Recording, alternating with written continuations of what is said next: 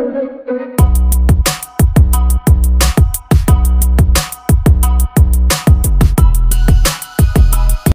Everyone कैसे हो आप लोग? उम्मीद करती हूँ आप सब अच्छे होंगे मैं भी बहुत अच्छी हूँ और जुलाई। और यार आप लोग को रोज़ व्लॉग नहीं मिलेंगे मेरे एक दिन छोड़कर एक या दो दिन छोड़कर व्लॉग मैं बना पा रही हूँ इस टाइम पे। तो और मैं नहा कर रेडी हो गई हूँ। खाना भी मैं नहा कर ही बनाती हूँ। कुछ ने मुझसे पूछा था कि आप लोग बिना नहाए बना लेते हो क्या? कभी कभारी जो है, अगर नाश्ता होता है, जैसे पराठे वगैरह सेकना होता है तो कभी नहीं नहाई होती तो बना देती हूँ। वैसे तो मैं नहा कर ही बनाती हूँ खाना, क्योंकि हमारे यहाँ बिना नहाए खाना नहीं बनाया जाता है। तो मुझे किसी ने कमेंट किया था, इसलिए मैं आप लोग को बता रही हूँ, ठीक है? और ये देखिए, ये वाला कुर्ता जो मैंने वेयर किया है ना आज, ये वाला कुर्ता मैंने मीशो से ही लिया था और इसे मैंने डेली यूज़ में निकाल लिया है। और बस रोटी रह जाती है, जैसे कि आप लोग को सबको पता है। तो अब जाऊँगी किचन में, खाना बनाकर मैं आ गई हूँ। तो अब जाकर रोटी सेकती हूँ। और आज मैंने ना भापले बनाया था, उसकी रेसिपी आप लोग के साथ शेयर कर रही हूँ। होप सो आप लोग को पसंद आएगी तो ज़रूर देखिएगा और ज़रूर ट्राई करिएगा। बहुत ही टेस्टी लगती है। और बहुत ही बढ़िया बनी थी तो आप लोग ज़रूर देखिएगा। मैं आप लोग को पूरा बताई हूँ कि किस तरीके से बनाना है। तो चलिए आगे पहले आप लोग रेसिपी देख लीजिए। सो so गाइज़ मौसम बारिश वाला हो रहा है ना तो अभी मैंने ये दाल भापले बनाया है आज। तो यहाँ पर डेढ़ कटोरी मैंने पहले गेहूँ का आटा लिया है, इसके बाद जो अभी मैंने डाला है, सूजी डाली है हाफ़ कटोरी, और हाफ़ कटोरी डाल दिया है बेसन। तो इसके बाद फिर मैं इसमें डाल रही हूँ नमक। नमक अपने हिसाब से आप लोग देख सकते हो। और फिर ना मेरा मोबाइल में पता नहीं कैमरा ब्लर मतलब ब्लर बोल रही हूँ, साफ़ नहीं आ रहा था, पता नहीं क्या हो गया था फ़ोन को मेरे। तो ये फिर मैं डाल रही हूँ अजवाइन। अजवाइन थोड़ा सा डाला है आधी आधी चम्मच के करीब। और फिर इसके बाद इसमें डाल देंगे बेकिंग पाउडर, बेकिंग सोडा थोड़ा थोड़ा सा एक एक पिंच के हिसाब से ये देखिए, मैंने इतनी सी डाली है। इससे क्या है, भापले बढ़िया अच्छे से बनेंगे, फूल जाएँगे और ये बेकिंग पाउडर डाला है मैंने। इसके बाद फिर मैं ऑयल डाल दूँगी एक, दो चम्मच। फिर बस ये, इसे अच्छे से मिक्स कर लेंगे, मिक्स करके गूँथ लेंगे आटा। डो लगा लेंगे, थोड़ा टाइट डो लगेगा इसका। सो so, ये देखिए गाइस डो तैयार हो गया है थोड़ा टाइट ही लगाएँगे इसे ठीक है? और इसके बाद इस तरीके से लोई लेंगे और राउंड शेप में इस तरीके से बनाकर रख लेंगे। और पानी भी मैंने बॉईल होने के लिए रख दिया है गर्म होने के लिए एक गंजी में। तो इस तरीके से बाकी पूरे आटे की लोई बना लेंगे हम। सो so गाइस इनका नाम ही दाल भाफले है तो इन्हें भी पानी में पकाया जाएगा। तो ये देखिए पानी मैंने बॉईल होने के लिए रख दिया जैसे कि बताया आप लोगों को। और ये मैंने बॉल्स इसमें डाल दिए हैं, पानी बॉईल हो रहा है, ये देखिए, और बस इसे ढकना नहीं है, ऐसे ही खुले में पकाना है। ये थोड़ी देर के बाद खुद ही ऊपर आ जाएँगे मतलब ये पक गए हैं। कि ये ऊपर तैर रहे हैं तो मैंने ये यहाँ पर वीडियो स्लो कर दिया ताकि मैं आप लोग को अच्छे से दिखा सकूँ। तो अभी इन्हें और पकने देंगे, पाँच से दस मिनट के बाद फिर निकाल लेती हूँ मैं।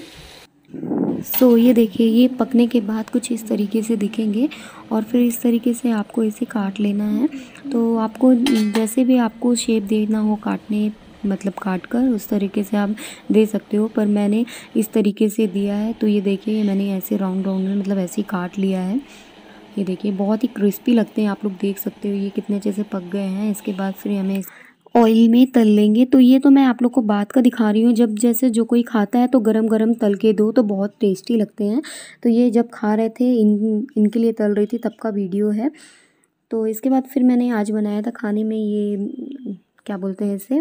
कौन सी सब्ज़ी बोलते हैं? मुझे मुँह में ना ही नहीं आ रहा है। गिल की तरोई बोलते हैं। हाँ वो बनाई थी मैंने और यहाँ पर मैं दाल का छौक लगा रही हूँ। तो दाल जो बनती है भाफले की, वो पाँच तरीके की दाल बनाती हूँ मैं। मतलब जो पाँच प्रकार की दाल होती हैं, उन सबको मिलाकर बनाती हूँ। तो यहाँ पर मैंने ये छौक लगा लिया है। लहसुन, अदरक और मिर्च और जीरा का। तो इन सब का छौक लगा के बस प्याज डाल देंगे। नॉर्मल दाल जैसे फ्राई करते हैं, वैसे ही फ्राई कर रही हूँ। पर आप लोग बनाना बहुत टेस्टी लगते हैं दाल भापले कभी कभी बनाना चाहिए बदल बदल के खाना ना तो अच्छा लगता है। और मौसम भी बहुत अच्छा हो रहा था इस टाइम पे, बारिश में लगते हैं अच्छे। और बस इसके बाद फिर मैंने ये टमाटर डाल दिया था। तो ये टमाटर भी पक गया। इसके बाद ये जो दाल बनाकर मैंने रखी थी, वो डाल दूँगी इसमें। तो ये हमारी दाल भी बनकर तैयार हो गई है। मैं आप लोग को फाइनल लुक दिखाती हूँ, कैसी लग रही है बनने के बाद दाल। ये देखिए। सो गाइज़ ये देखिए, ये है मेरी फुल प्लेट खाने की। ये खंड वाली प्लेट में इसलिए लगा दिया था क्योंकि आज दो, तीन, चार प्रकार के आइटम हो गए थे इसलिए। दाल हो गई और गिलकी की सब्ज़ी और आलू की सब्ज़ी भी बनाई थी सूखी और साथ में आज करौंदे की चटनी बनाई थी। तो बस इनके लिए मैं तल तल के देती जा रही हूँ और ये गर्मा गर्म बहुत बढ़िया लगते हैं। आप लोग ज़रूर ट्राई करिएगा, मैं बार बार बोल रही हूँ इसलिए क्योंकि बहुत, सच में बहुत अच्छे लगते हैं। और बनाने के बाद मुझे ज़रूर बताइएगा कि कैसे बने हैं। तो ये हो गई गर्मा गर्म दाल। मैंने कढ़ाई से निकाल दी है गंजी में। सो so गाइज़ ये देखिए ये है एक आ, मशीन है एक तरीके से। तो जब कभी हाथ पैर मतलब पीठ में या कमर में कभी भी कुछ दर्द होता है ना तो इसको चला लो। तो हम लोग तो इस टाइम पे डाले हुए हैं क्योंकि इनको कभी कमर में या फिर पीठ में कभी दर्द होता है ना तो इसे मसाज दे दो तो बढ़िया हो जाता है। तो ये रखी हुई थी तो मैंने सोचा चलो आप लोग के साथ शेयर कर देती हूँ। तो ये देखिए, इसका नाम क्या है मुझे पता नहीं है बट ये मसाज मशीन है। तो इससे मसाज दे देती हूँ इनको पीठ में, ना तो आराम मिल जाता है। सच में बहुत अच्छा लगता है। मैंने भी एक बार चलवाई थी, बहुत रिलैक्स फील होता है। तो बस यहाँ पर मेरी रखी हुई थी तो मैंने बोला आप लोग के साथ शेयर करना बनता है तो बस ये और बस इसको ना मुझे अंदर रखवाना है। देखो कितनी डस्ट बैठ रही है, इसको अंदर रखवा दूँगी क्योंकि ना खूब दिन से यहीं पे ही रखा हुआ है। रूम भी फैला फैला मैसी मैसी सा लगता है। तो आज मैं इसको अच्छे से रखवा देती हूँ अंदर सिंथरसाइज़र आई हूँ अभी और ऐसे बेड के हाल बताई ना, सोकर हम लोग आते हैं, ऐसे ही डला रहता है। इसके बाद अभी आई हूँ तो अब जल्दी से फटाफट से आज चादर भी मुझे चेंज करना है। तो जल्दी से फटाफट से चेंज कर देती हूँ। सो गई अभी मैं किचन से फ्री होकर आई और बस यहाँ पर फैला हुआ था मैसी सा लाया रहता है बहुत ज़्यादा सुबह से। तो बस फटाफट से मैंने घड़ी की और इस समय बारिश हो रही है ना तो मौसम वैसा है तो अभी ब्लैंकेट की ज़रूरत पड़ती है, ठंड रख लगती है क्योंकि रात में। तो बस ये देखिए, बहुत दिन से मतलब मेरे को लगता है चार, पाँच, छः, सात दिन हो गए मेरा ये बेडशीट मतलब बिछा हुआ था।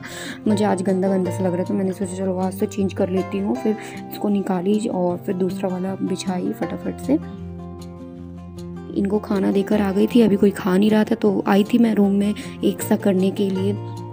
मैं जो गई हूँ सामने से तो ये मैं बेड शीट लेने के लिए गई, दूसरी वाली देख रही थी कौन सी बिछाऊँ, फिर ये मुझे मिली। जो मैंने बिछाई है, ये मीशो की बेड शीट है। मैंने एक बार बुलवाई थी, अच्छी है मतलब वॉश करने के बाद भी कपड़ा अच्छा है। तो ये देखिए, ये है मीशो का बेड शीट। हॉल वीडियो में आप लोग के साथ शेयर किया था मैंने।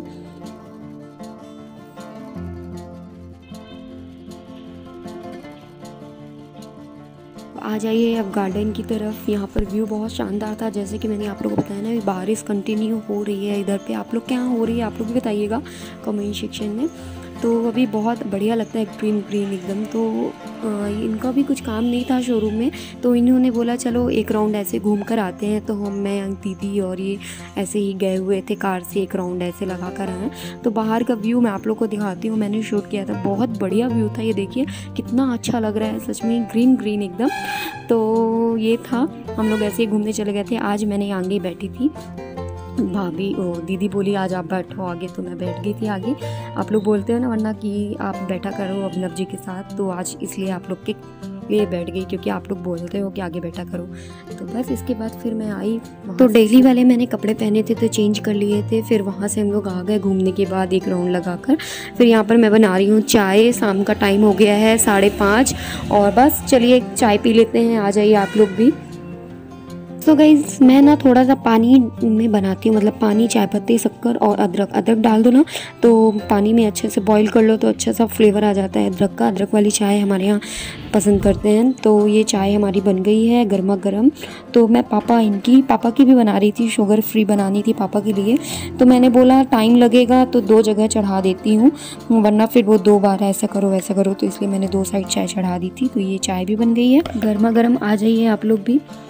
देन इसके बाद ये रात का वीडियो आप लोग के साथ शेयर कर रही हूँ। खाने का तो मैंने आज खाने में ना ये भिंडी बनाई थी, जो कि बन गई है। गर्मा गर्म, थोड़ा सा ना हमारे यहाँ जो प्याज जो खरी हो जाती है ना, उस टाइप की भिंडी पसंद करते हैं। तो इसलिए ये हमारे यहाँ खरी बनती है भिंडी। तो ये लोहे की कढ़ाई में मैंने बनाई थी भिंडी, कलर देख सकते हो। और ये देखिए, ये फुल प्लेट मैं आप लोग को खाने की दिखा रही हूँ। तो आज हमारे यहाँ मिंजा बना हुआ था। बेसन का बनाते हैं, बहुत पुराना रेसिपी है। मम्मी लोग मतलब बनाती थी, दादी लोग के ज़माने की है। तो मम्मी ने बनाया था, आज तो ये फुल खाने की प्लेट इनकी लग गई है। और फिर बस यहाँ पर मैंने किचन वगैरह साफ़ किया, सबका खाना हो गया है।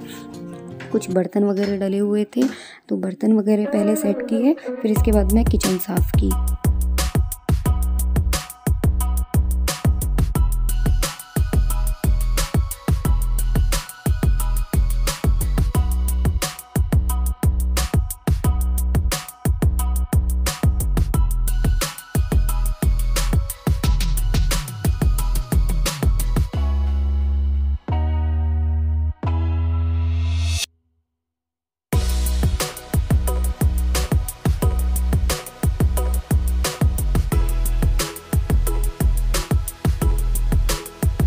सो गई रात में मैं किचन साफ़ करके ही सोती हूँ हमेशा स्टैंड वगैरह जो होते हैं तो गैस के वो सब मैंने वॉश करके ही सोती हूँ क्योंकि मुझे अच्छा नहीं लगता। अगर ऐसा मतलब मैसी सा रहता है ना किचन तो मन ही नहीं लगता इसलिए सुबह से आओ फिर तो।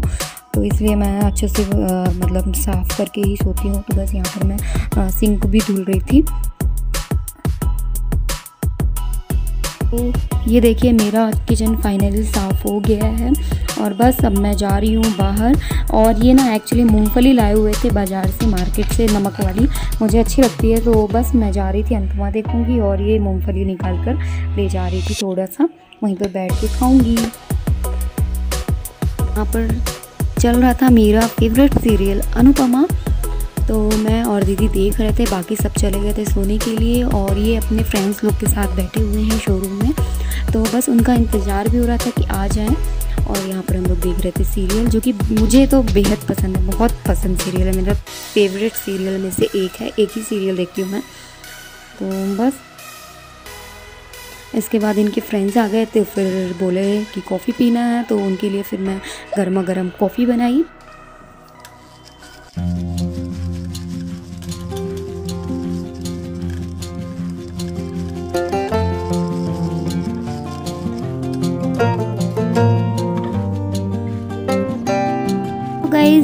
था मेरा आज का छोटा सा ब्लॉग उम्मीद करती हूँ आप लोग को पसंद आया होगा। पसंद आया हो प्लीज़ वीडियो को एक लाइक ज़रूर दीजिएगा। चैनल को सब्सक्राइब भी ज़रूर करिएगा। चलिए फिर मिलते हैं एक अच्छे से अच्छे नए वीडियो के साथ। Bye bye take care good night and ये मैं कॉफ़ी सर्व कर रही थी ना तो थोड़ा सा गिर गया था। तो फिर बाद में मैंने फिर जब दिया था तो फिर साफ़ कर दिया था। वो ऐसा होता ना वीडियो भी ले रही थी तो ऐसा तो होएगा ही वीडियो लो तो वो गिरेगी, पति, पता ही था। और थोड़ा ज़्यादा थी ना, ज़्यादा क्वान्टिटी में थी तो थोड़ा सा अच्छा लग गई थी नीचे।